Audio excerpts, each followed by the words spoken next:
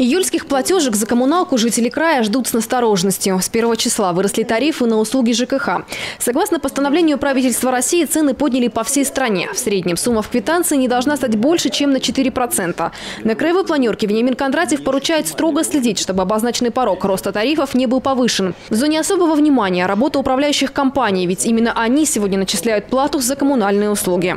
Нам правильнее будет, чтобы люди понимали и знали, как формируется коммунальный тариф, из чего они формируются, какой принцип их формирования, на что он расходуется.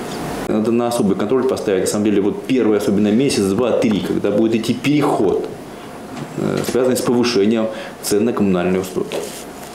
Вот здесь, коллеги, я попрошу реагировать на каждую жалобу, потому что э, одна жалоба, она может проецировать в целом на ситуацию.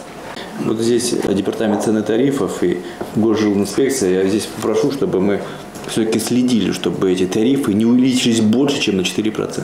Коллеги, вот здесь под шумок у нас что угодно может происходить. Коллеги, никто не должен играть и играться с тарифами, еще раз подчеркиваю. Платить больше теперь придется за электричество, тепловую энергию, голубое топливо, но заметнее всего цены поднимутся на холодную воду.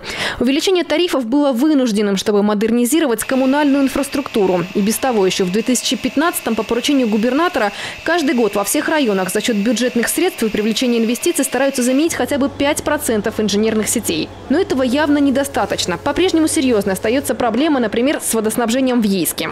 Мы же говорим о том, что сегодня курортная отрасль – это тоже одна из важнейших отраслей нашей экономики. А есть кто же вносит свой, пусть небольшой, но достойный вклад сегодня в копилку дивидендов от курортной отрасли. Но какая может быть там э, тогда атмосфера для отдыхающих, если вода подается по часам. Начало июня, июль месяц у нас каждый год случается эта проблема. И нам нужны сюда, на территорию Ейска, дополнительные объемы воды. Но я знаю, вы дали такое поручение, есть проект, э, разрабатывается. Сможем э, в следующем году начать строить. Но это строительство двухниточного исполнения, это будет ну, по 500 миллионов в год не меньше. То есть там достаточно большая протяженность и очень дорого. Диаметр водовода порядка тысячи миллиметров. То есть диаметр метр трубы и протяженность там у нас а, суммарно там больше 50 километров. В этом году завершаем проектирование и в следующем году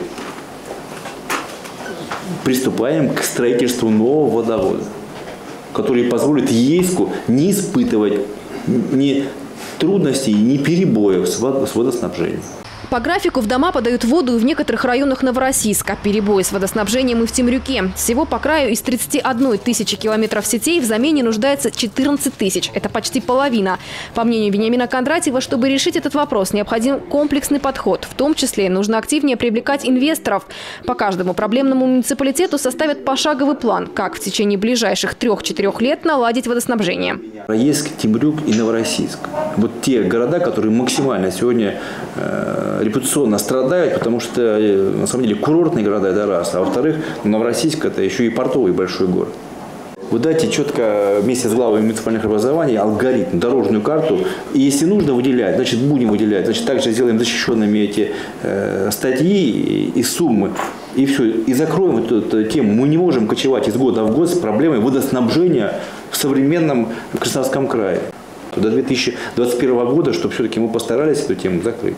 Если мы тарифы поднимаем, качество услуг должно быть соразмерно тому, что мы поднимаем тарифы на эти услуги. А когда у нас тарифы растут, а, а качество не растет, оно еще и отстает с каждым годом, ну тогда, конечно, будет возмущение людей, и людей понять можно. Качество, еще раз подчеркиваю, услуг, которые оказываются населением, должно быть соответствующим. Такие позитивные изменения кубанцы могут заметить с подачей тепла в дома. За последние три года, в том числе и за счет повышения тарифов, удалось построить и реконструировать больше полусотни котельных. В этом году запланирована модернизация еще 40 источников тепла. Мария Крошна, Алексей Комаров и Артур Завада. Кубань, 24, Краснодар.